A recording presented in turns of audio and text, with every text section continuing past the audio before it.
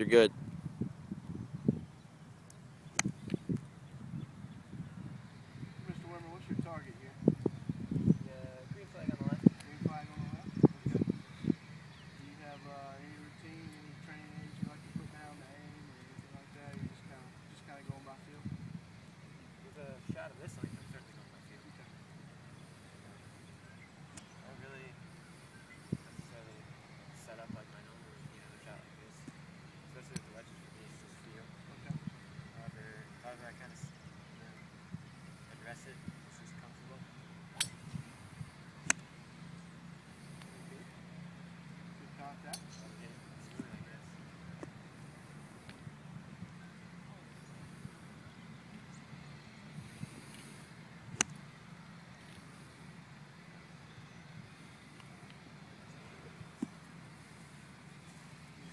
ball solutions and a couple other things.